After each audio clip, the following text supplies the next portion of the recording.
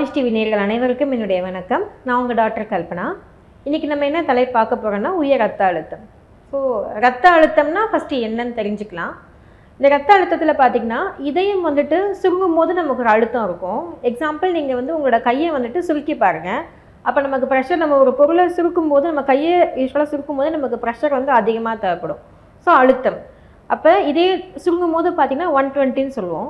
இதுவே வந்துட்டு இதையும் வந்துட்டு விரியும் போது நமக்கு அந்தளவுக்கு ப்ரெஷர் தேவைப்படாது. ஸோ நம்ம எக்ஸாம்பிள் நான் இப்போ தான் சொன்னேன். உங்கள் கையை சுருக்கும் போது நம்ம ப்ரெஷர் அதிகமாக தேவைப்படும்.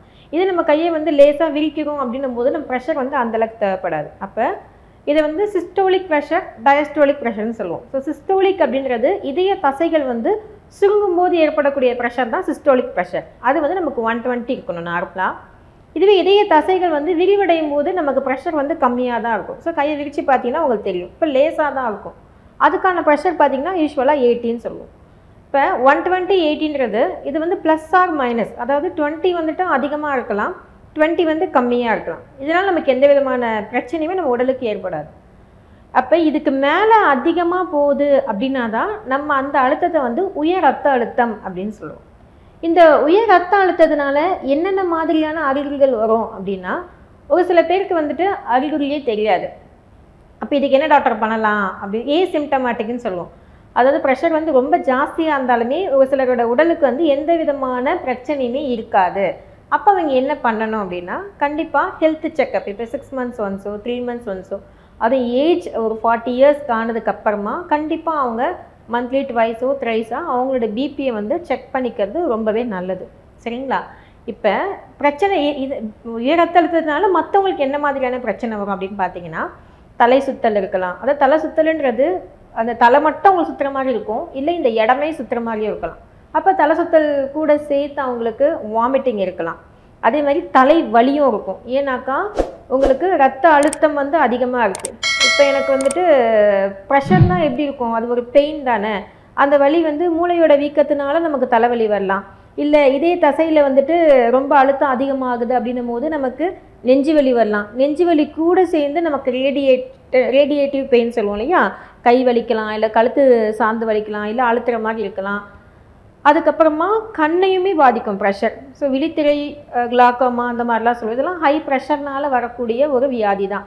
இந்த ரத்த அழுத்தம்ன்றது பார்த்தீங்கன்னாக்கா எல்லா உறுப்புகளையுமே பாதிக்கிறதுக்கான வாய்ப்புகள் இருக்குது இதில் எமர்ஜென்சின்னு பார்த்தீங்க தீவிரமாக இந்த ரத்த அழுத்த சிகிச்சை அதிகமாக இருக்கிறவங்க கண்டிப்பாக வந்துட்டு மருந்து எடுத்துக்கிட்டு தான் ஆகணும். இப்போ நம்ம அதுக்கான சரியான மருந்து எடுத்துக்கல இப்போ எனக்கு வீட்டில் ஒரு லைக்காக என்ன சொல்கிறது இப்போ முதியவர்கள் இருக்காங்கன்னு வச்சுக்கோங்க ஒரு அறுபது வயசோ இந்த காலத்தில் இப்போ நாற்பது வயசுக்கு வந்து ஸ்ட்ரோக் வந்துடுது இப்போ சடனாக படுத்துட்டு இருப்பாங்க ஒரு பக்கமாக பார்த்தீங்கன்னா முகம் வந்து மகத்து போன மாதிரி இருக்கும். அதே மாதிரி கையெல்லாமே சடனாக மகத்து போன மாதிரி இருக்கும். அவங்க வந்துட்டு அதை வந்துட்டு அலட்சியமாக விட்டுறக்கூடாது.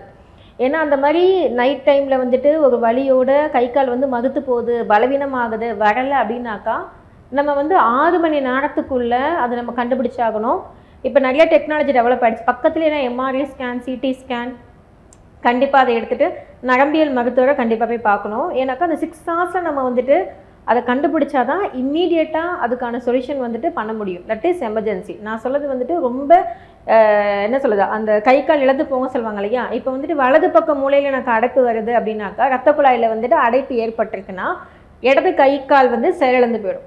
இதுவே வந்துட்டு இடது பக்கம் மூலையில் பிரச்சனை வருது அப்படின்னாக்கா வலது சைடு கை காலில் வந்துட்டு நமக்கு அந்த செயலிழப்புன்றது வரும் பக்கவாதம். அப்போ நம்ம இதை எப்படி உடனே சரி பண்ணலாம் அப்படின்னாக்கா நம்ம ஆறு மணி நேரத்துக்குள்ளே அந்த பக்கவாதத்தை கண்டுபிடிச்சா மட்டும்தான் அதுக்கான மருந்தை எமர்ஜென்சிவாக நம்ம கொடுத்து இழந்த கை காலை மீண்டும் வந்துட்டு புதுப்பிக்க முடியும். நம்ம அந்த டைம் வந்து மிஸ் பண்ணிட்டோம் அப்படின்னா அதுக்கப்புறமா நம்ம வந்து ரொம்ப கஷ்டப்படணும். அதுக்காக வந்துட்டு நம்ம தினமும் தெரப்பி பண்ணணும். ஆல்டர்னேட்டிவ் மெடிசன் தான் கண்டிப்பாக வந்து ஆகணும் ஃபிசியோதெரப்பியோ இல்லைன்னா வந்து ஆயுர்வேதிக்கில் தெரப்பியோ அதுக்கப்புறமா அவங்களுக்கு நிறைய இது வந்துட்டு ஒரு சில பேருக்கு பார்த்தீங்கன்னா ஒரு ஒன் ஆர் டூ டேஸ்லேயும் வரலாம் ஒன் இயர் டூ இயர்ஸும் ஆகலாம் இல்லை வராமலும் போகலாம். அப்போ இதுக்காக நான் இவ்வளோ தூரம் சொல்லணுன்றதை புரிஞ்சுக்கணும். ஸோ இந்த பிபினால் வரக்கூடிய ஸ்ட்ரோக் தான் வந்துட்டு நமக்கு ஒரு பெரிய பிரச்சனை. சரிங்களா? இந்த ஸ்ட்ரோக்லேயே பார்த்தீங்கன்னா ரெண்டு விதமாக சொல்லுவோம் நாங்கள் ஒன்று வந்துட்டு இஸ்கேமிக் ஸ்ட்ரோக்குன்னு சொல்லுவோம். இன்னொன்று வந்து ஹெமரேஜிக் ஸ்ட்ரோக்குன்னு சொல்லுவோம்.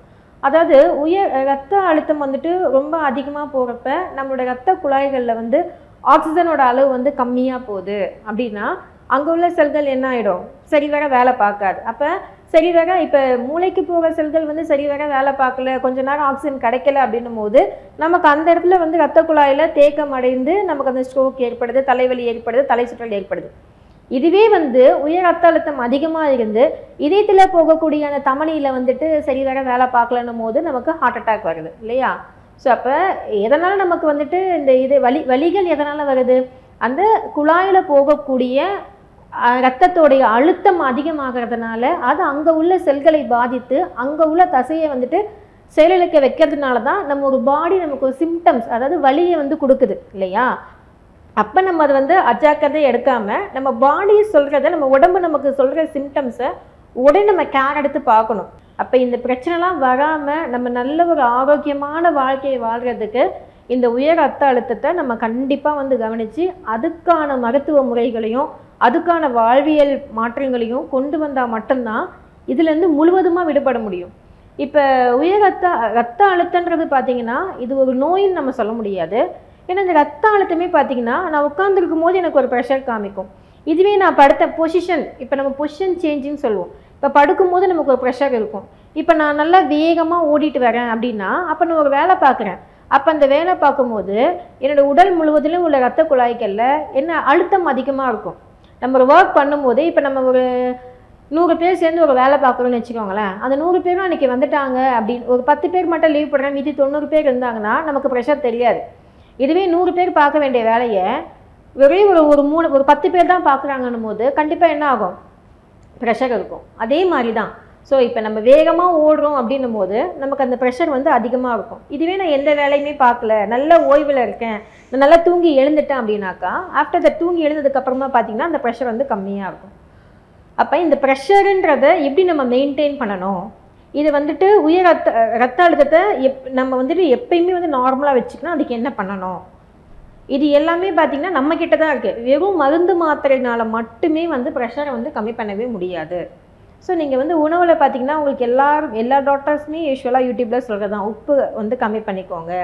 அதே மாதிரி ஃப்ரைட் ஐட்டம்ஸ் வந்து அவாய்ட் பண்ணுங்கள் ஏன்னா கொலஸ்ட்ராலும் உங்களுக்கு இந்த உயர் ரத்த அழுத்தமும் ஒன்றுக்கு ஒன்றுன்னு சொல்லுவாங்க. இது வந்துட்டாலே அது வந்துடுவாங்க அவங்க வந்துட்டாலே இவங்க வந்துடுவாங்க அப்போ இதுக்கான உணவு முறைகள் நிறைய பேர் வந்து சொல்லிட்டாங்க. மாவு ஐட்டம் லோ கார்ப் டயட் மாவு சத்துக்கள் குறைந்த உணவை எடுத்துக்கிறது. உப்புக்கள் கம்மியாக இருக்கக்கூடிய முடிஞ்ச அளவுக்கு உயர் ரத்த அழுத்தம் ரொம்ப இருந்தால் உப்பை நம்ம கம்மி பண்ணி கம்மி பண்ணிக்கிறது உப்பு சேர்க்காம சாப்பிட்றதும் ரொம்ப நல்லது தான் உங்களோட உணவு பழக்கத்தை வந்து ரெண்டு வேலையும் வந்து நிறைய பழங்களுக்கு இம்பார்ட்டன்ட் கொடுங்க. நிறைய ஃப்ரூட்ஸ் எடுத்துக்கோங்க.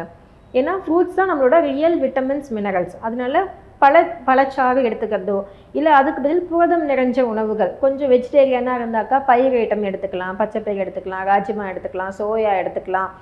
இல்லை நான் நான் வெஜிடேரியனாக எடுக்கிறேன் அப்படின்னாக்கா நல்லா கொஞ்சம் ஒரு நாட்டுக்கோழியோ இல்லைன்னா வந்துட்டு மீனோ புரதச்சத்து நிறைந்த உணவுகள் கூட ஒரு இரநூறு கிராம் ஒரு முந்நூறு கிராம். இப்போ நம்ம நாலு தோசை ஒரு அஞ்சு இட்லி சாப்பிட்ற இடத்துல ஒரு ரெண்டு தோசை கொஞ்சோண்டு வந்துட்டு அந்த பயிர் வகைகள் அந்த மாதிரி உங்களோட உணவு பழக்கத்தை வந்து நம்ம மாற்றிக்கணும் அதே மாதிரி வந்துட்டு ஆயில் ஃபுட்ஸும் வந்து அவாய்ட் பண்ணணும். புளி வந்து பார்த்தீங்கன்னாக்கா குடம் புளி யூஸ் பண்ணலாம். அதே மாதிரி இந்த புளிப்பு வந்துட்டு கூட உங்களுக்கு ரத்த அழுத்தத்தை வந்து அதிகப்படுறதுக்கான வாய்ப்பு வந்து அதிகம். ஸோ இப்போ உயர் ரத்த அழுத்தம்னால என்னென்ன பிரச்சனை வரும்னு சொல்லியிருக்கேன் நான். தலை சுத்தல் இருக்கும் தலைவலி இருக்கும். அதே மாதிரி உங்களுக்கு இந்த இதயத்துக்கிட்ட அந்த தசையில் வலி ஏற்படும் போது அதனால் ரேடியேஷன் பெயின் இருக்கும். இது எல்லாமே பார்த்தீங்கன்னா உயர் ரத்த அழுத்தத்தினால வரக்கூடிய மாரடைப்புக்கான சிம்டம் பற்றியும் சொல்லியிருக்கேன் உங்களுக்கு. அதே மாதிரி மூளையில் அடைப்பு ஏற்பட்டு அந்த அடைப்புனால நமக்கு கை கால் செயலுக்கு அளவுக்கு இந்த உயர் ரத்த அழுத்தம் நம்மளோட வாழ்க்கை முறையை முழுவதுமாக மாற்றிவிடும். இப்போ நம்ம பிறந்ததுலேருந்தே வந்து ஊனமாக இருக்கோம் அப்படின்னாக்கா நமக்கு தெரியாது. இதுவே வந்துட்டு நமக்கு ஒரு நோய் வந்து இந்த உயர் ரத்த அழுத்தம் வந்துட்டு அதனால் நமக்கு மூளையில் வந்து அடைப்பு ஏற்படுதுன்றது எவ்வளோ ஒரு கொடூரமான ஒரு விஷயம் இல்லையா? இத்தனை நம்ம காலம் நம்ம நடந்து போயிருப்போம் நம்ம உணவை நம்மளே சாப்பிட்டுப்போம் இல்லையா? இதெல்லாம் அடிப்படையான விஷயங்கள். ஒரு அடிப்படையான ஒரு டே டு டே லைஃப்பை கூட வாழ முடியலன்னா அப்போ அந்த மனசோட வலி எப்படி இருக்கும்? அப்போ அந்த டிப்ரெஷனால் திருப்பி நமக்கு என்னென்ன நோய்கள் உருவாகும்? அதெல்லாம் நம்ம வந்து வருமுன்னு காப்போம். நமக்கு வரலை. இன்னைக்கு எத்தனை பேர் இந்த வீடியோ பார்த்துட்டு இருக்கீங்கன்னு தெரியல. ஸோ வீடியோ பார்க்குறவங்களுமே ஃப்யூச்சரில் ஏன்னா நமக்கு எல்லாருக்குமே வந்துட்டு வயசாகும். வயசாகும் போது நமக்கான டென்ஷன் அதிகமாகும். இல்லையா? அப்போ ஞாபக மறதி ஏற்படலாம் கண் மங்கல் ஏற்படலாம் தலை சுற்றல் வரலாம் தலைவலி வரலாம் இதயத்துக்கிட்ட வலி வரலாம் கை காலில் வலி வரலாம். ஸோ எதுவாக இருந்தாலுமே நம்ம உடம்ப நம்ம செக் பண்ணிக்கிறது தப்பே கிடையாது.